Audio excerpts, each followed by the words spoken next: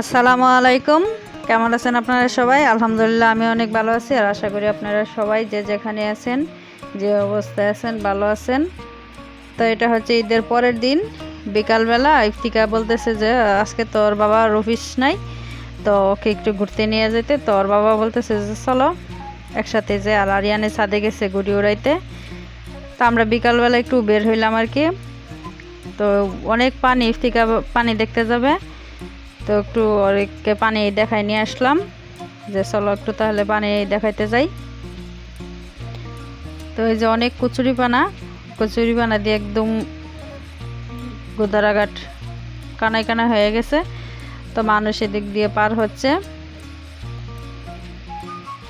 তো ইতিকা এইদিকে যাইতে চাচ্ছে না, এদিকে বলতেছে যে না কানায় কানায় পানি হয়ে গেছে, যাব না, আমরা ওইদিকে যাব। তো ওই দিক দিয়েই একটু বের হয় আর কি। বেশিক্ষণ অবশ্য থাকি নাই। কারণ মানে প্রচণ্ড গরম, একটু বাতাস নাই তো আসলে থাকতেও মন চাচ্ছিল না। তার বাতাস থাকলে কিন্তু একটু ভালো লাগে বাহিরে গেলেও। আর বাতাস না থাকলে ঘরে যেরকম যে বাহিরে সেরকমই তো ঘরে তো একটু ফ্যানের বাতাস আছে। তো এই যে কচুরি পানার অবস্থা আর এটা হচ্ছে বালির মাঠ মানে ভালি দিয়ে বরাট করার কি এই প্লটগুলা কিন্তু একদম কানায় কানায় হয়ে গেছে পানি। আর এর থেকে অনেক খুশি। আর এই পাশটা একটু নীরব, তো এর থেকে একা একাই হাঁটতেছে। মানে খুবই খুশি। তো এটা হচ্ছে রাতের বেলা ইফতিকা এই যে নাটক দেখতে দেখতে দেখতেছে যে লাড্ডু বানাচ্ছে, তো ওই লাড্ডু আঁকলো। বলতেছে যে আমি লাড্ডু আঁকি এবং বাটিতে করে দেই। এটা হচ্ছে সোমবার সকালবেলা। সকালবেলা আসলে ঘরের যে অবস্থা থাকে আর কি। এটা হচ্ছে আমাদের বেডরুমটা। তো ওর বাবা তো চলে গেছে নাস্তা করে। ওর বাবার অফিস খুলে গেছে, তো আমি আগে রুমটা গুছিয়ে নিব। কারণ বিছানাগুলো গুছানো হইলে দেখা গেছে সব কাজই শেষ হয়ে যায়। তো আগে আমাদের বিছানাটা আমি গুছিয়ে নিব, পরে ওদেরটা আস্তে আস্তে যাব। তার বিছানাপত্র এলোমেলো থাকলে দেখা গেছে যে সারা সব কাজ শেষ হয়ে গেল, ঘরটা অনেক ভারী ভারী থাকে, মাথার উপর একটা পূজা থাকে। আর বিছানাপত্র গুছায় ঘর দরজা যখন ঝাড়ু দিয়ে অন্যান্য কাজ করা হয়, তখন মনে হয় যে সব কাজই শেষ হয়ে যায়। তা আমার রুমটা গুছানো হয়ে গেছে ফার্নিচার টার্নিচারও আমি সব মুছে নিয়েছি। তো মুছে এসে অন্যান্য কাজগুলো করে ঘর দরজা গুছায়, ওই রুম গুছায় আমি দুপুরের জন্য রান্না করতে চলে আসলাম। আর কিছু বড় বড় হাঁড়ি বাতিল ছিল, তো এগুলো মাজতে হয়েছে। আর এখন তো প্রায় সাড়ে বারোটা বাজে। কারণ আমি একদম সব কাজ শেষ করে আসছি যে রান্নাঘরে কাজটা করব। যার জন্য হাঁড়ি পাতিল বড়গুলো মেজে নিয়েছি, এগুলো উঠাই ফেলতে হবে। তো আমি কই মাছ দিয়ে শশা আর আলু দিয়ে রান্না করব। আর আসলে মাংস টাংস খাওয়ার কোনো আগ্রহ নাই, ওর বাবা বলতেছে আজকে মাংস নামানোর দরকার নাই। তো তারপরও দেখি বাচ্চারা যদি চায় তাহলে একটা পাতিল বের করব আর কি। তো আমি এখানে এটা মাং ইয়াটা শশার আলু কষানোর জন্য। শশা আলু কষানোর জন্য একটু আদা রসুন দিয়ে দিব। আর অনেক দিন যাবৎ শশার তরকারি খাই না। তো আর যেহেতু গরম, শশা কিন্তু শরীর ঠান্ডা রাখে, তো একটু জলের তরকারি করব আর কি। আর মানে এত পরিমাণ গরম পড়েছে যে কিসের খাবার দাবার, রাতে অবশ্য অনেক বৃষ্টি হয়েছে, কিন্তু বৃষ্টি হইলেও কিন্তু বৃষ্টিটা আসলে দিনের বেলা, সকালবেলা আবার ঘুম থেকে উঠে দেখি অনেক রোদ। মানে রোদের জন্য বাহিরের দিকে তাকানো হয়ে যাচ্ছে না। তো যে এরকম খাবার, তার এনে বলতেছে, মা মানে একটু বিরিয়ানি করা যাবে নাকি? পরে বলতেছি, না বাবা, একটু বৃষ্টি টিষ্টি আসুক আর রোদের তাপটা একটু কমুক। কমলে করে দিব। আর এখন কোনো দরকার নাই। তো আমি ওই পাশে চুলায় ডাল রান্না বসাইছি। ওর বাবা গতকালকে এই রাতে ডাল চাইলো যে ডাল আছে নাকি। তো বলছে যে পাতলা করে, একদম পাতলা করে ডাল রানতে আজকে একদম একেবারেই পাতলা রান্না করেছি। যেহেতু ওর বাবা একটু ডালটা খাইতে চায় আর আম দিয়ে ডালটা কিন্তু গরমের মধ্যে খুবই ভালো লাগে। তো আমি ওই পাশে চুলাই ডাল সিদ্ধ দিয়ে দিয়েছি একদম বেশি করে পানি দিয়ে। তো এখানে আমি তরকারিটা রান্না করে নিব। এটা একটু কষায় রান্না করলে ভালোই লাগে। আর অনেক দিন যাবৎ আমি এভাবে শশা তরকারি রান্না করি না। তো যে আজকে আলু দিয়ে রান্না করতেছি, যে দেখি।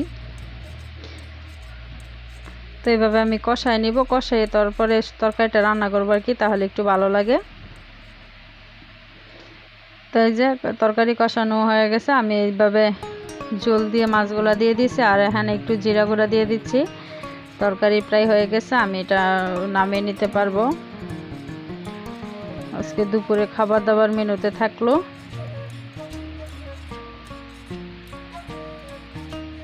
তো আমার একটা রান্না হয়ে গেছে, আর ভাতও আমি রান্না করে ফেলছি, ওই অন্যান্য কাজ করতে করতেই। তারপর আমি এখানে ডাল বাগার দিব এর জন্য একটি কড়াই বসাই দিলাম। আর এর জন্য একটু আগে জিরা ফোড়ন দিয়ে নিচ্ছি আর কি, আস্ত জিরা।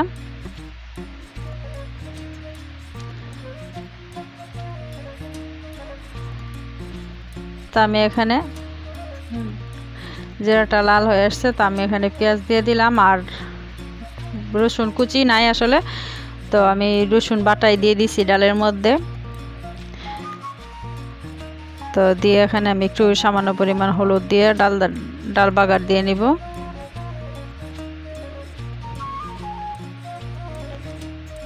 ডালের আসলে বাজার মধ্যে, পেঁয়াজটা বাজার মধ্যে একটু হলুদ দিলে ডালের কালারটা কিন্তু অনেক ভালো আসে। তো পেঁয়াজটা প্রায় ভাজা হয়ে গেছে, তো আমি এখানে ওইখান থেকে দুই, তিন চামচ ডাল এনে দিব।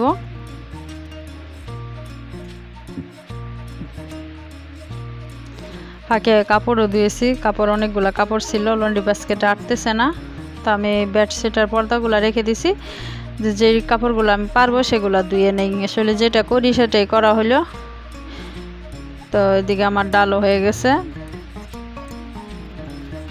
তারপর আমি ডালের কড়াইতেই একটু বাজি করে নিব।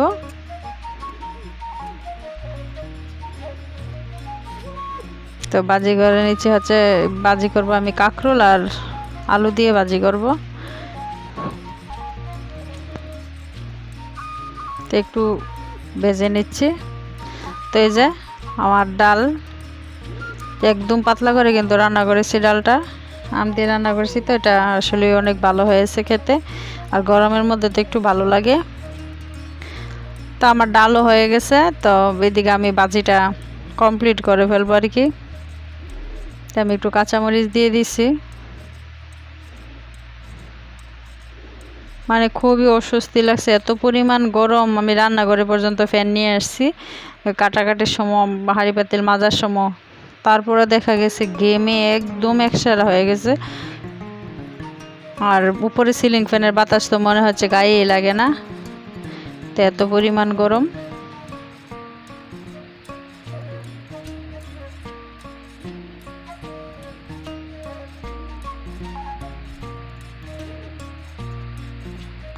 মশলাটা বাজার সাথেই কাঁকরোলগুলা দিয়ে দিলাম। দিয়ে বেজে নিব। আর কাঁকরোল আর আলুর এই বাজিটা কিন্তু অনেক ভালো লাগে। আর কাঁকরোল তো খুবই উপকারী একটা সবজি, তো এটা যেভাবেই রান্না করা হয় না কেন সেভাবেই ভালো লাগে। চাক বাজিটাও ভালো লাগে, আর এইভাবে আমি একটু আলু দিয়েও মাঝে মধ্যে বাজি করি, সেটাও আমার কাছে খুবই ভালো লাগে। তরকারি দিয়েও ভালো লাগে। তরকারি রান্না করলে এটা ভালো লাগে।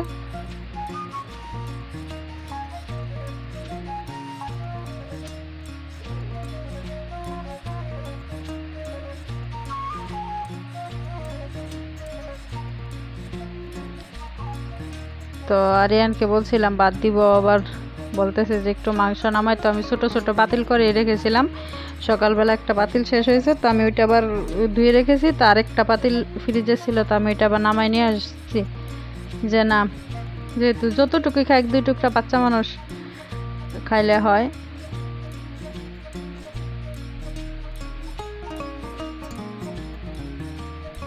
এই যে বাজিটা হচ্ছে, তো আর এইদিকে আমি এই ছোটো পাতিলটা নিয়ে আসলাম যে যদি খায়। তো এটা আমি চুলায় বসায় রাখছি যে মনে চাইলে এক দুই টুকরা খাইতে পারবে। থেকে তো দাঁতে লাগে, খাইতে চায় না বেশি। তো আমার রান্না বান্না শেষ হয়ে গেছে, আমি ওদেরকে খাবারটা দিয়ে দিব। খাবার দিয়ে দিলাম, আগে একটু বাজি দিলাম, কারণ বাজি দিয়া খাওয়ার পরে তরকারি দিয়ে দিব। তো প্রচণ্ড গরম পড়েছে, আসলে অন্য কিছু দিয়ে ভালো লাগে না। তো ঠিক আছে, সবাই ভালো থাকেন, সুস্থ থাকেন। আল্লাহ হাফেজ, আসসালামু আলাইকুম।